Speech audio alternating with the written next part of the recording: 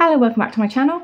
I have had a delivery of um, a deck that I could not make up my mind about getting. And I'll be honest, I thought I'd missed it because it was a Kickstarter. And somebody highlighted me to the fact that it was on Etsy and there were still a few left. So here's how it arrived. It came in this beautiful box. I have opened it um, and taken off all the polythene and that's as far as I've gone and emptied the polystyrene from inside here. You'll probably recognise it as soon as I open the lid. But I thought it came in such a lovely box, I couldn't not show this. So we have in here, thank you for your purchase um, from the creator. I'm not sure how I'm pronouncing this. imusidesign.com, maybe?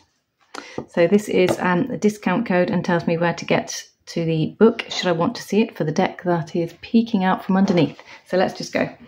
Um, it's also come with, and I wasn't expecting these, so it's come with some pins. There's a hat. Uh, they're metal, of course. Um, and this one, which is a spray of flowers. It's almost like a fleur de lis type sign. My dog is also thirsty. This is the joys of real-time right. Um, not having a fancy recording setup. So we have that one. So I thought they were really quite cute. Was not expecting those. I mean, maybe they were in the description on Etsy and I just failed to spot that, but I do like a good badge. And this I thought was really cute as well. So we've got uh, kind of, you know, that protection symbol, or it's referred to as a protection symbol, and we have um, a little incense cone.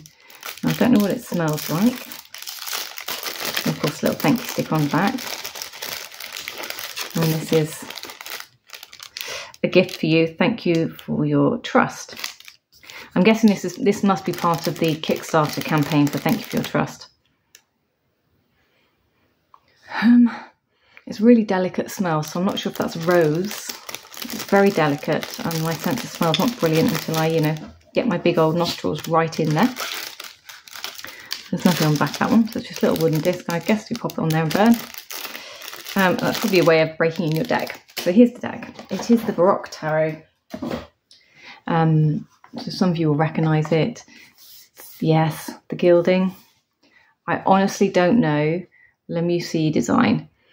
Um, so 2022. So honestly don't know um, what version we're on now or not, but somebody scared me as well when they said they weren't sure if it was going to be produced again. Like this is it. So when it's gone, it's gone. Um, so that was enough to send me off to spend some money. This deck calls the user to care for their soul with much love, to open their heart and minds to learn their lessons and better themselves and, uh, and to have faith in all that will unravel as it should. It's quite hard to read in the light there, but oh, there you go. It's beautiful gold highlights. So we have a tarot book in here. There's the backs. Here we go. I'll go from back to front. So we have coloured images. Um, finishing on the swords, coming through Major Arcana. So we have the um, coloured image, the name, upright and reversed. We have the planetary aspect here. We have some writing. So the Fool is withering, like they haven't lived for a while. They represent the conscious walk into the next life path, not knowing what's ahead but accepting the risk and being ready to cross the river into a new beginning. The dog represents what you've learned and what you've earned and learned on your last journey that will take that you will take with you. Then we have the reverse meaning there. In reverse, the dog is an attachment or limiting belief that has kept you back. Don't be afraid of losing something as you dive into the rushing water to start again. If the dog loyally follows through the river with us, it was meant to be. Interesting. So, reverse meaning of the symbolism in the card, and then we have our kind of basic keywords there. This looks like a spread. Yes, there it is. The Celtic cross spread. Here we have a past, present, and future spread, single card spreads, recommendations. I guess this is just about working with a deck about Baroque Tarot. Um, second Kickstarter gold foil deck expresses and celebrates the divine seeking salvation from the dark and the path from poverty of the soul to spirit, to spiritual richness and fulfillment. When it comes to soul care, it's important to acknowledge pain, lonesomeness, and darkness. Acknowledgement and actively working through the hardship rather than denying the hardship are some of the steps towards healing. The deck depicts our morality and our higher guides wishing to help us. It's a certain cold and warmth to it, a ray of salvation, and a prompt to worship and love the spiritual. I will admit, it does definitely have that kind of um, coolness to it and darkness to it that is um, clearly an aesthetic that I've been liking. One that I was sort of thinking I didn't need any more decks of, but here we are. We have the um, I'm not sure if I call gold. I'm going to call it sort of a coppery colour. It's not quite gold. It's um brassy tone. Brass? No, brass. That sounds cheap, doesn't it? Rich gold, maybe. Should we call it rich gold for me? And from um, cardstock perspective, it's quite thick. So it is a thick cardstock. It's not linen. It's smooth. We've got gold foiling on the cards. So let's bring you down because I know it's quite dark here on this winter's day in January. The card's going to tell you what they are, so we'll just flip through. Um, let me just see if the lights are any better. Hang on. Is that better? Get quite a shadow then, don't we? I think that gives you a truer picture. So we'll go. You can see what I mean when I said these are really quite dark, murky, muddy cards.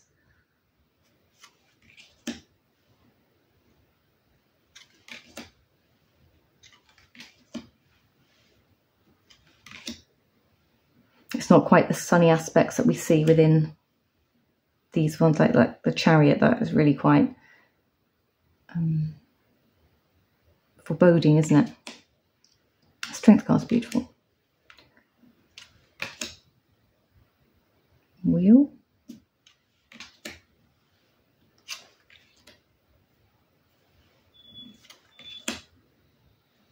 Death card. Beautiful temperance the colours popping in that one.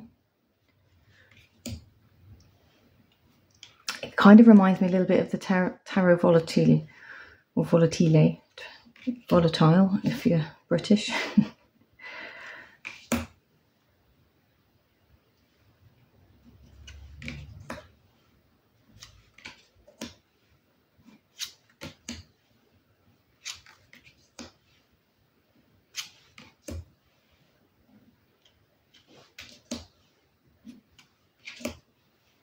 very RWS inspired esque.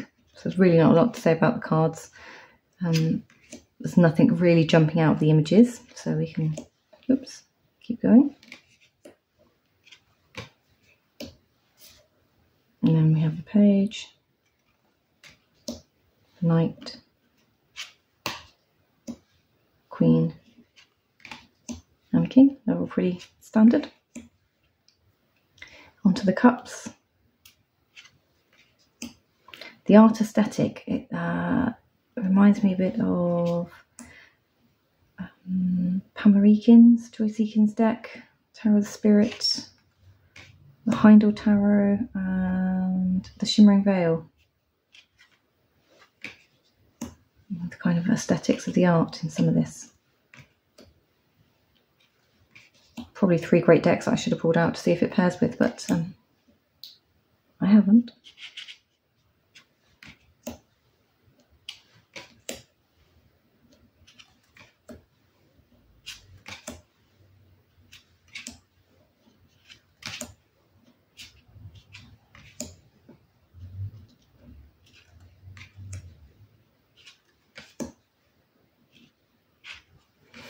Now this one, um, Rochelle over Amethyst Ascension, she has this deck and she, she absolutely loves it. Um, she has influenced a few of my purchases lately, to be fair. Um, but I couldn't help myself. I, I you know, I stayed stayed away. and what do they call it? FOMO. There it was. It's the Three of Swords, I think, in this deck. It's the card that kind of really from a magpie perspective that got me. So here we go, we're coming into the swords. That one. I just love that card. Um, I don't know what it is about it, the whole composition. I don't like swords sticking into hearts and things, but from an art aesthetic, really like it. I do like my Three of Swords to depict to be depicted in another way. I don't like that as a standard standalone, but just as a beautiful image.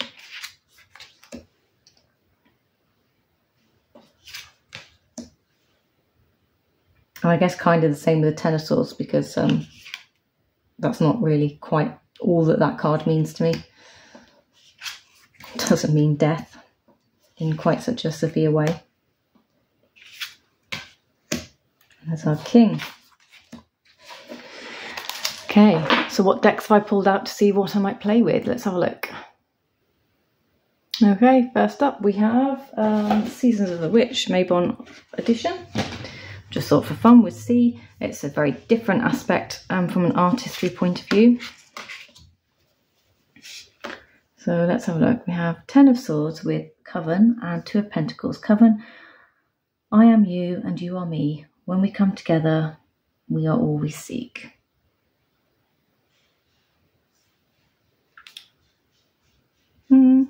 Don't know about the message. Art style is clearly a not. Not sure about that message at all. What do we have here? The Emperor with the Crow and the Queen of Wands. And the Crow says, pay close attention to the winds. There's a message making its way. Not hitting the mark for me instantly. For me, that's a no. But I don't know about you. You may be getting something different from that. And of course, that's all down to how the cards speak. However, the messages in the um, Mabon Oracle, I really, really like. Um, now, I pulled out a second deck, which you probably wouldn't expect for this either. And I'm just curious to see if this works. Um, so I have pulled out the Oracles of Shadows and Light. Just curious because it's one that's in the back of my cupboard, hasn't been out for a little while, due to come into rotation. So I'm literally pulling out things that are in the back of my cupboard that you don't see normally when I pair things up.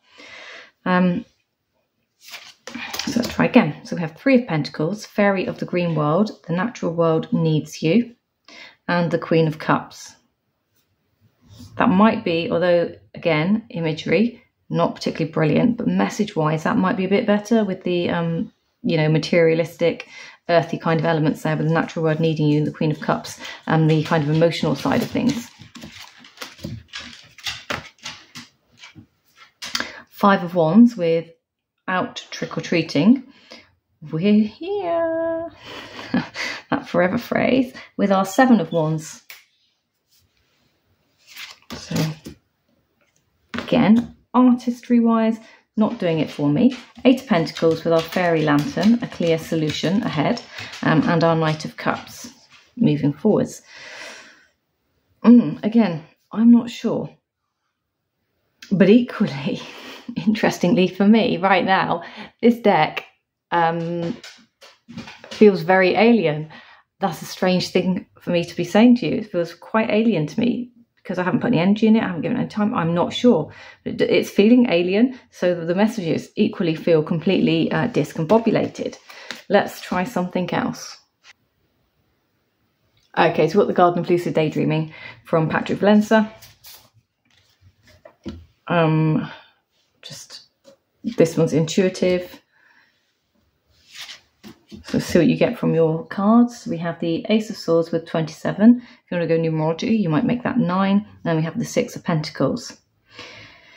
Now she clearly looks like she's being um, whispered to in both directions, doesn't she? So we do have communication. We definitely have some communication here and how you choose to do that when it comes to moving forwards with your um, charitable donation. Seven of Pentacles hiding behind masks and outfits with the King of Wands. So with our Seven of Pentacles, what you're setting intentions for, not all is what you see.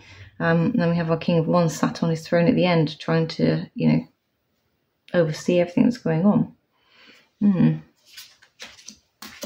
Again, it was a wild card from an art perspective for you all to look at. So here we have our Two of Cups with um, I don't know. We just call that. I just call that one the bluebird, the flying fish, and he's following. Definitely looks like he's following him of his own wish. And we have our knight of wands. So with our two of cups. So is this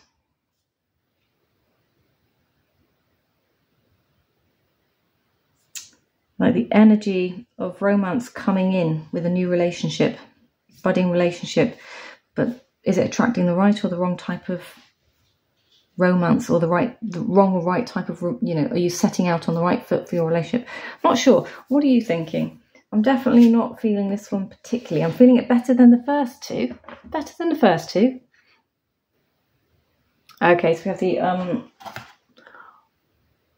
Oracle of the Rose by Zara de Rosa. This is one of Etsy, which absolutely adore. It comes in from Australia. It isn't particularly cheap to get, but oh my goodness, I so love this. This was another amethyst.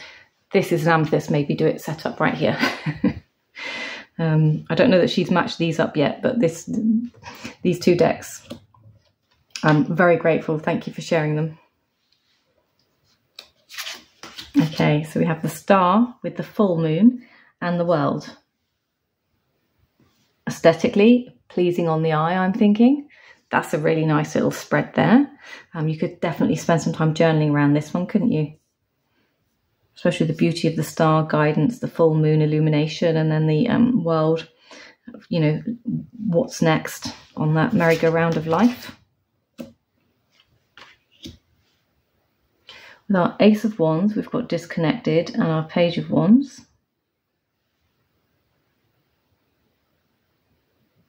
disconnected, discombobulated is a good word to put in there as well, isn't it?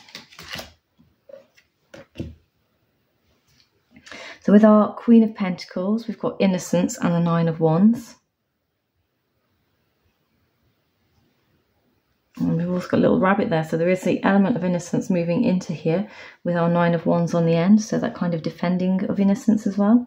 Um, you know, um, and, and that's not in a sordid way, that would be for me as I see or feel that would be more in a, um, you know, remaining innocent in your inquiries, how you move forwards, what you're doing, what you're asking, what you're wanting to achieve, um, and setting the boundaries around how you protect that for yourself. We have the moon with the end. the night is here and judgment. Oh, that's quite a dark reading there for me. the moon the end and judgment. Well, hopefully the moon is illuminating that you've come to the end of that cycle um, and how you've played out in that is how you will be judged going forwards. Your karma will come get you. Lady Karma is out for your bum. Four of Swords with integrity and Eight of Cups. Yeah, they go quite nicely. I think I'm preferring, out of all of them, this is my favourite. Um, and I think you might all agree. You might not, but um, Ace of Cups with Grounded and the Eight of Wands. So um, I've got one more deck, which is a tarot that um, I thought easily is going to do this as well. So let me just get that one out. Okay, so we have the Stretch Tarot. This is the one I got recently from Make Playing Cards. Love it.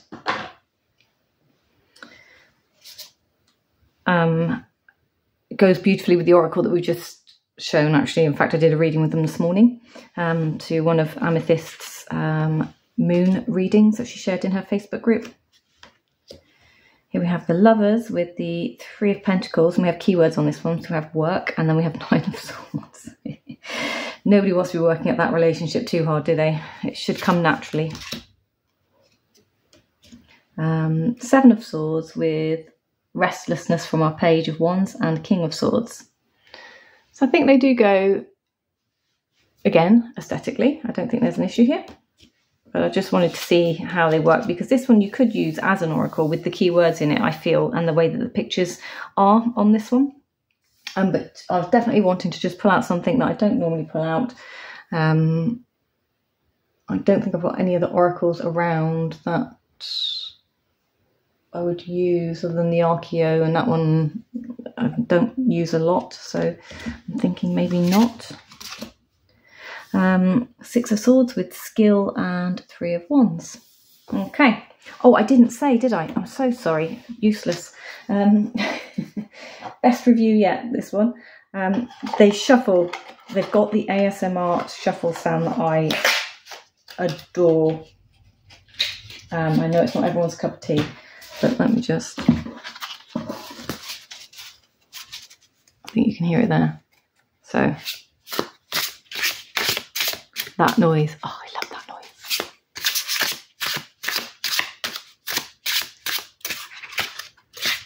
Just they slip and they make a very nice shuffle noise. So there you go. That is the Baroque Tarot. Um, I hope you like it. Have you got it? I'm sorry about the shadow. Um, but either way, I hope this gave you some inspiration to get it if you've been on the fence or to help you make up your mind that you don't need it anymore. Um, and if you have got Terra Volatile and you do pair them up, let me know how you get on with those as well because I'm still having problems getting that deck to talk to me. Until the next one, take care. Bye.